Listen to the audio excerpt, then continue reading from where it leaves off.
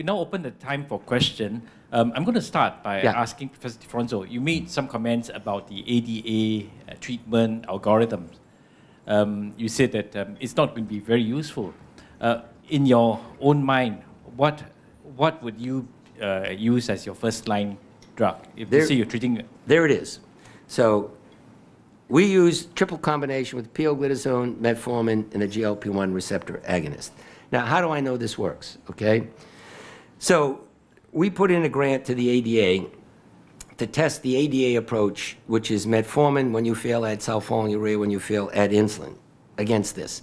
Actually, the letter came the day I was to go give the Banting lecture in 2008, and it was very thin. That means rejection. So I didn't want to ruin my time to give the Banting lecture, so I left it in my mailbox. And when I got to the airport, I said, Ralph, that's so atypical of you. You've never done anything like this in your life. I missed the plane. I went back and I looked at the letter and I opened it figuring it was going to be a rejection. And then it dawned on me the people who review it, it's not the ADA, it's the scientist. Okay? So we're now in the, going on to the fifth year. So I'm going to show you the three year data.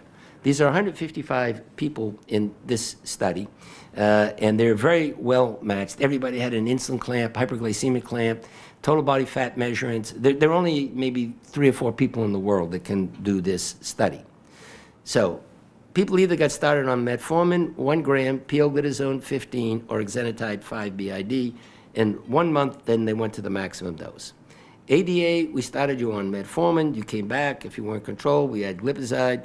If you weren't controlled, we then added glargine insulin.